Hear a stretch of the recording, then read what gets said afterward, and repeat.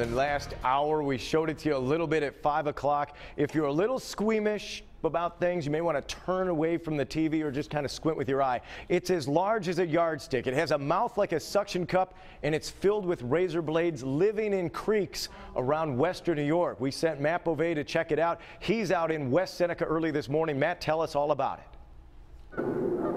Andy, aren't they just disgusting? Well, those sea lampreys, better known by many as, get this, the vampires of the Great Lakes. Well, they're swimming right under my feet right now, and these things live off of sucking blood. Now, as Andy said, if you're squeamish, put your cereal down this morning, take a look at these guys. You said it. They're a couple feet long, very, very different. They are fish, no connection to eels, although they do look similar. No gills, no fins, no bones, but they have a circular mouth filled with sharp teeth and a sharp tongue. They latch on to other fish. They then suck the blood out of other fish. And get this, in their adult lifetime, which is about 18 months long, they take down alone between 40 and 60 pounds of fish. Now, if you're wondering, can I go in Cayuga Creek where these sea lampreys are? Can I go in Lake Erie?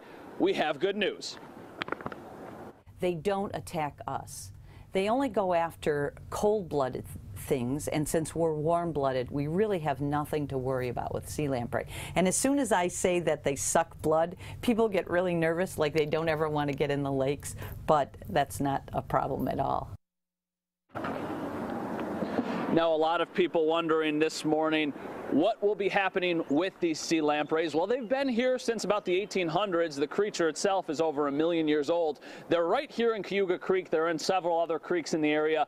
Later this week on Friday, U.S. Wildlife and Fish Services will start to pour a chemical into the water. It's called THM. It's a special lampricide. It will not affect anything that you would do. You can go swimming, you can still fish, do any of that stuff. It is just used and intended on limiting the reproduction of those sea lampreys because if that isn't done, they can just really kill off a lot of the fish population one out of every seven fish that they attack actually lives. So once a sea lamprey attacks, then there is obviously some serious damage. So they just kind of want to control that.